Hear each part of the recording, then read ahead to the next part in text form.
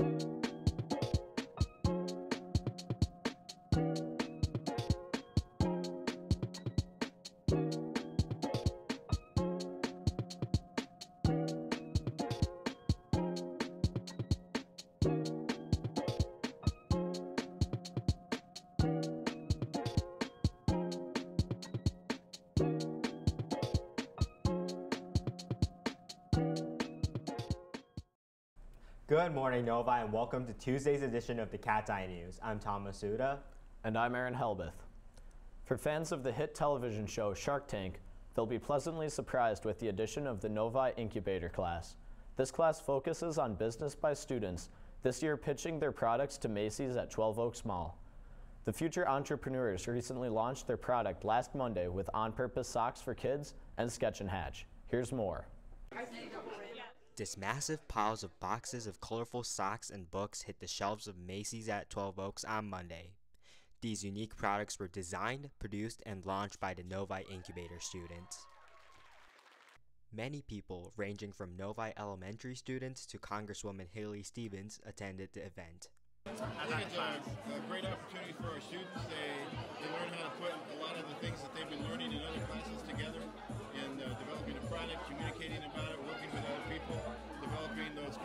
skills and communication skills, and, and really figuring out how to make things work.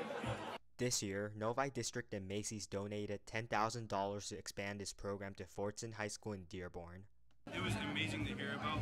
I was super happy that schools are doing this.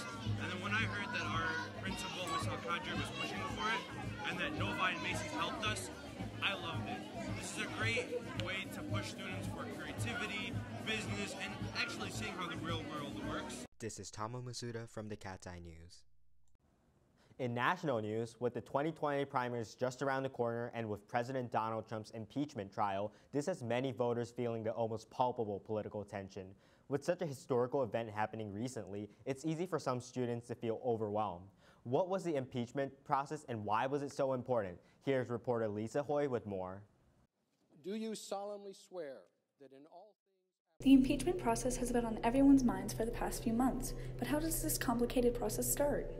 Well, it starts with members of, the, simply put, members of the majority party in the House of Representatives, if they feel like an officer of government like the president has committed an impeachable offense, then they would recommend through a committee process that the House bring impeachment charges against the president. In this case, if you look at the Constitution, it essentially says that people in our government can be impeached for bribery, treason, and high crimes and misdemeanors. What does that mean exactly? High crimes and misdemeanors?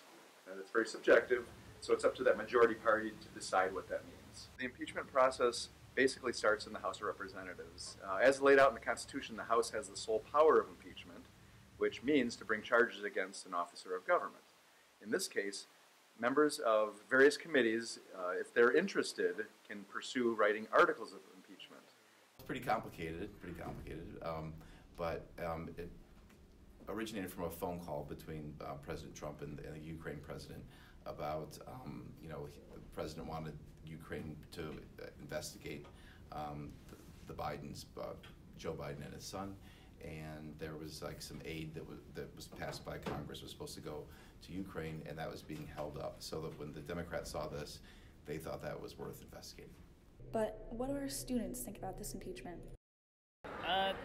Trump, I don't know much about it, but my opinion on it is it's probably not worth it, considering that most people put it on the grounds of tax fraud. And while he has done some questionable things for the nation, there is some stuff that he's actually done right, which is why it's probably not good to impeach him at this time. Demographically, within the United States, a majority of Americans want the president impeached. They want him out of office and yet the political elite in Washington are strong arming what the people want. This was Lisa Hoy from the Cat's Eye News. In school news, today is the second day of You Matter Week. Today's theme is happiness, and there will be therapy dogs in the counseling office. Tomorrow's theme will be compassion. Make sure to wear blue tomorrow and stop by the auditorium tomorrow night at 7 p.m. for the Stanford clinical professor and a New York Times bestselling author, Dr. Doty's webinar. In club news, Japanese Club will be having their Valentine's Day meeting today after school in room 247.